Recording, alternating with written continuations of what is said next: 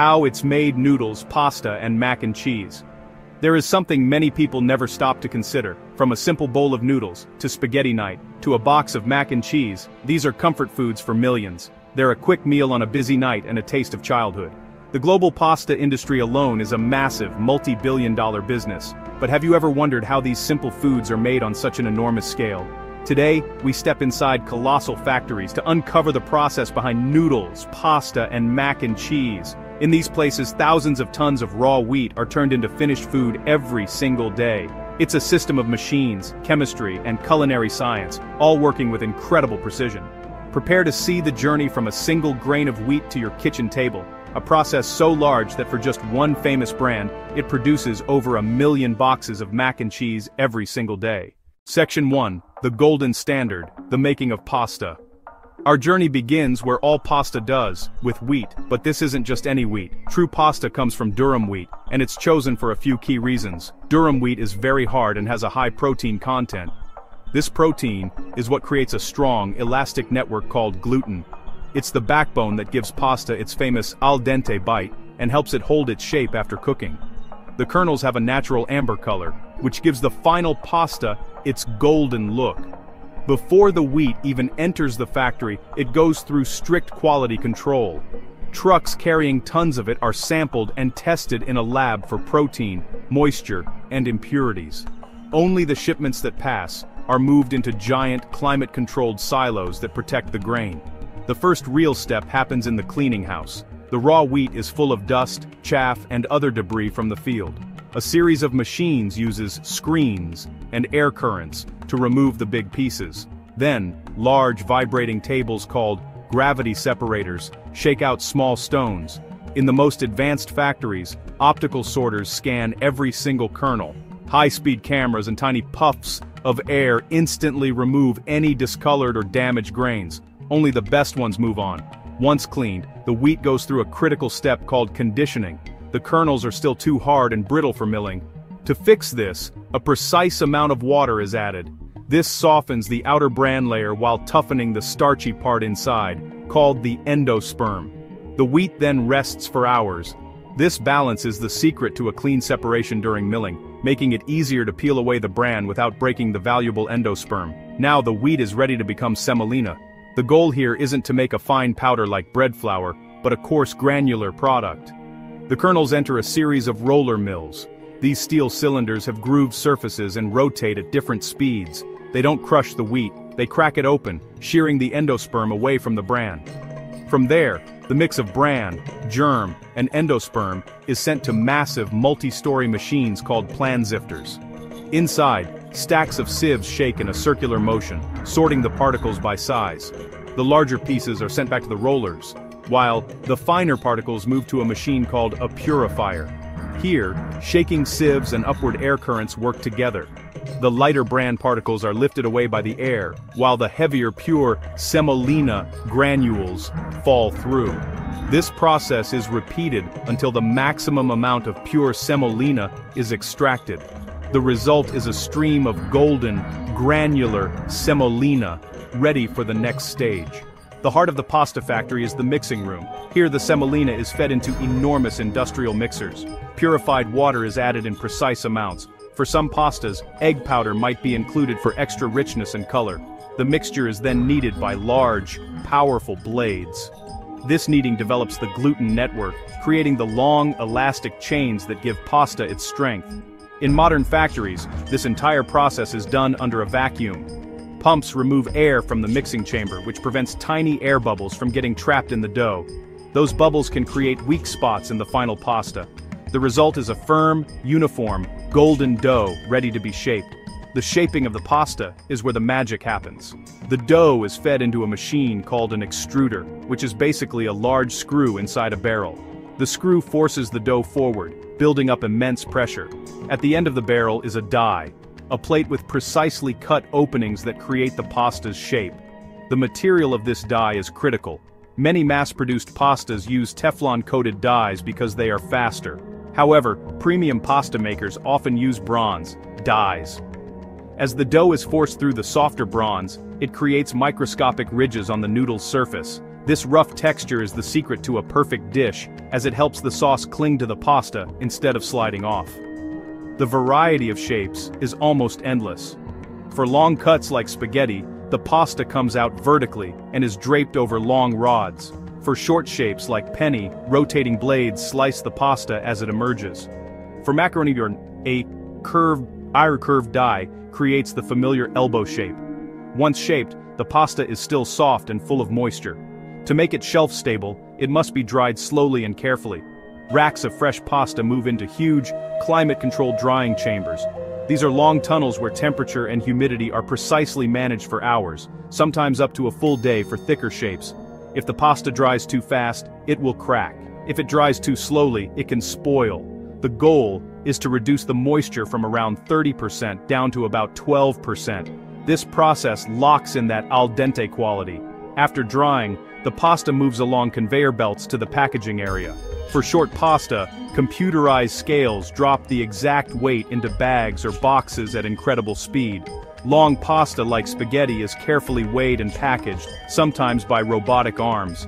At every stage, samples are pulled and tested for everything from color to cooking performance. Nothing is left to chance. Finally the boxes are cased, stacked by robots and moved to the warehouse, ready to be shipped around the world. Section 2. The Instant Marvel. The Making of Noodles. Now we shift our focus to a different global staple, the instant noodle. The market for instant noodles is enormous, expected to be worth over $62 billion in 2025. This food was born out of a need for convenience and its production is a marvel of food engineering. Like pasta it begins with wheat flour, but here the flour is mixed with water, salt, and a key ingredient called kansui. Kansui is an alkaline mineral water which gives ramen noodles their signature yellow color, firm texture, and unique flavor. In a huge mixer, the ingredients are kneaded into a stiff dough. From there, the dough isn't extruded. Instead, it enters a series of sheeting presses. It's fed between pairs of heavy rollers, and with each pass, it's pressed thinner, developing the gluten and creating a continuous sheet of dough. What begins as a thick slab of dough becomes a delicate sheet, just a millimeter thick. This sheet of dough then passes through a slitter, which is a set of rotating blades that cut it into strands. To create the iconic wavy pattern, the conveyor belt moving the noodles away from the slitter runs slightly slower than the noodles are being cut. This causes the strands to bunch up and form waves, which prevents the final block from becoming a solid mass. Once cut, the raw noodles cannot survive long in storage. First, they pass through steaming tunnels where jets of vapor cook them at 100 degrees Celsius for 1 to 5 minutes. This step pre-cooks the noodles and makes them digestible. It's what makes them instant. After steaming, the noodles are portioned into individual serving sizes and folded into the familiar square or round block shape. Now, we arrive at the step that makes most instant noodles different from any pasta. Flash frying. The noodle blocks are submerged in hot oil, usually between 140 and 160 degrees Celsius, for just 1 to 2 minutes. This flash frying is ingenious for two reasons. First, the intense heat instantly vaporizes the water, rapidly dehydrating the noodles. The moisture content drops from around 30-50% to as low as 2-5%. This is what makes them so shelf-stable. Second, as the water escapes, it leaves behind a network of tiny pores throughout the noodle. This porous structure is the secret to their instant nature. When you add hot water, it rushes into these pores, rehydrating the noodles in minutes. After frying, the hot blocks of noodles travel through a cooling tunnel. Blasts of cool air bring them down to room temperature, preparing them for packaging. While this is happening, the flavor packet is being made.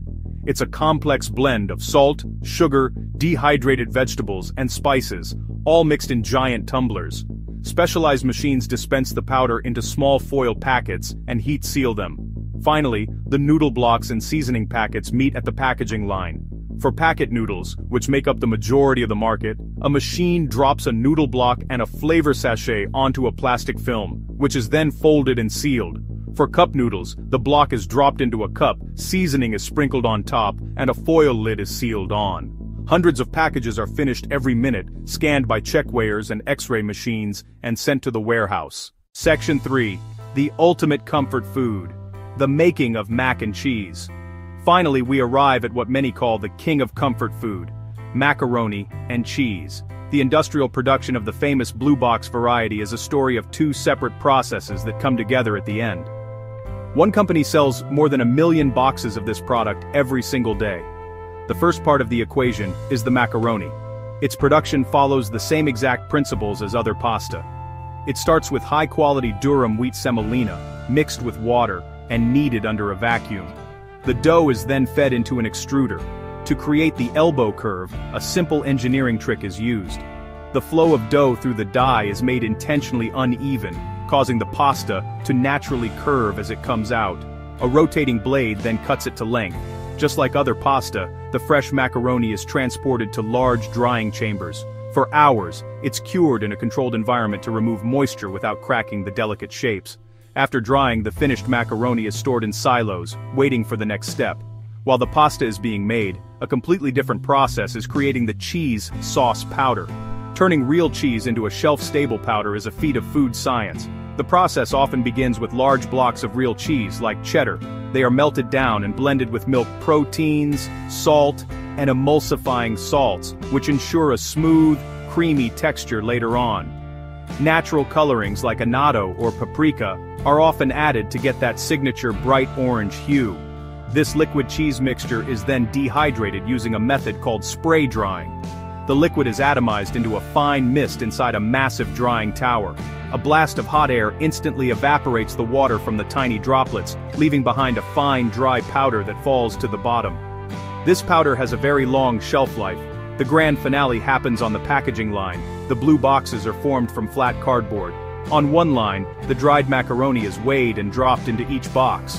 On another, the cheese powder is sealed into foil packets. A machine then drops a packet into the box with the macaroni. The box is sealed, coated, and sent on its way. Optical scanners and check weighers inspect every box to make sure both parts are there and the weight is correct. Any box that fails is automatically rejected. From there robotic arms stack the boxes into cases ready to be shipped out. To conclusion. From the golden fields of wheat, through the forces of milling and extrusion, the hot bath of the fryer, and the science of spray drying, we've seen how simple ingredients are transformed into the world's favorite comfort foods. It shows how ordinary foods are never simple. They are systems of machines, people, and choices that shape what we eat every day. The next time you make a pot of spaghetti, a bowl of instant noodles, or a box of mac and cheese, you'll know the incredible journey it took. Now that you've seen how it's made, do you think using a bronze die really makes a difference for pasta? Let us know your thoughts in the comments. And if you want to uncover more factory secrets, subscribe now so you never miss the next journey.